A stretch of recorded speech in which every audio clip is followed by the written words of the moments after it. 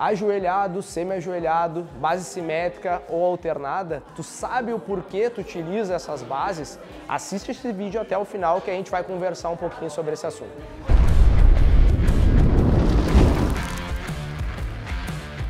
Dentro do nosso sistema, né, que a gente utiliza dentro da, da BPRO Academia e apresenta para os nossos alunos, professores dentro do curso, a gente acaba utilizando muito as alternâncias de base a fim de conseguir dar uma informação para esse aluno que está recém entrando na academia, está aprendendo a se movimentar, está aprendendo a fazer um padrão, um bom padrão de movimento, uh, com a informação de dar mais ênfase a, a certas ativações. Dentro do nosso sistema, normalmente, é mais comumente utilizado essas cinco bases a fim de esse aluno entender como aplicar e transferir força pensando no seu corpo em uma unidade. Pensando no processo pedagógico, normalmente a gente começa utilizando as bases ajoelhadas, com o intuito de transferir uma maior ênfase para a região de centro do corpo, onde esse aluno entenda de uma melhor maneira a potencializar a extensão do quadril e um posicionamento onde mantenha tanto o seu abdômen quanto o glúteo firme, a fim de recrutar e demandar a informação da unidade interna, as musculaturas estabilizadoras, tanto da região anterior e posterior. Sim? Normalmente as posições ajoelhadas são muito utilizadas no nosso sistema, nas fases, principalmente na região de centro do corpo, mas também nos exercícios de empurrar ou puxar podem ser utilizados, sim, a fim de aumentar essa interação, aumentar essa ênfase a partir dessas estruturas, a fim de fazer com que esse aluno entenda um melhor posicionamento.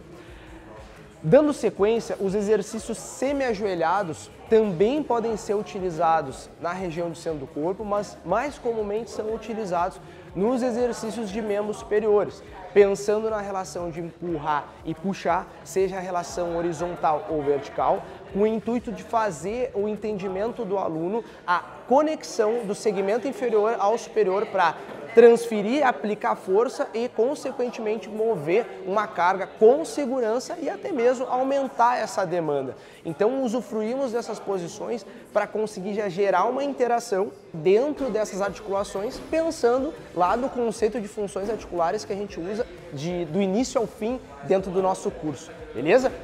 Dando sequência, uma posição alternada, onde normalmente é muito utilizado dentro é, do padrão de dominância de joelho, mas também pode ser utilizado dentro dos padrões de dominância de quadril ou até mesmo dentro do trabalho de segmento superior ou até mesmo centro do corpo. O intuito disso é justamente dentro de uma alternância de bases, até mesmo corrigir certas alterações, certas diferenças, níveis de força, aplicações de força que a gente tem a partir de certos padrões ou a partir de certos gestos, movimentos, a fim de começar a aumentar a interação do segmento inferior com o superior.